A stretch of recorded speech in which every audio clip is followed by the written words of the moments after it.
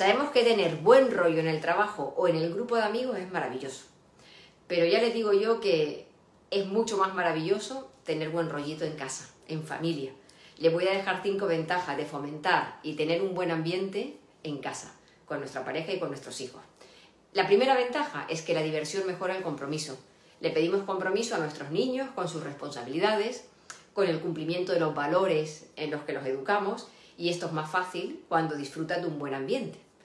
El segundo, la segunda ventaja es que genera unión y la unión nos hace más fuertes.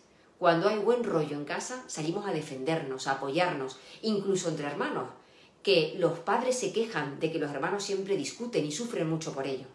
La tercera ventaja es que el buen rollo fortalece el sentimiento de pertenencia.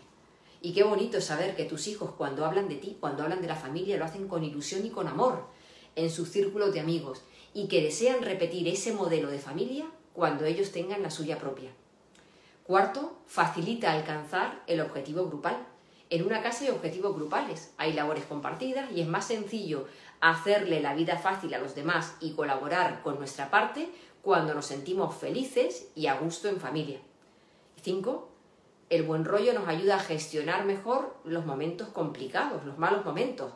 Vamos a tener, o sea, que tengamos buen rollito no significa no corregir, no poner límites, no establecer consecuencias, pero es más fácil hablar y negociar y cumplir cuando nos llevamos bien y cuando nuestros hijos entienden que eso tiene un motivo.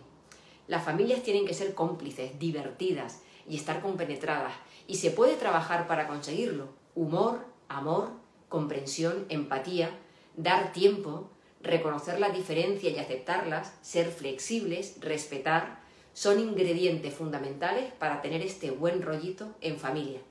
Un beso, familia bonita.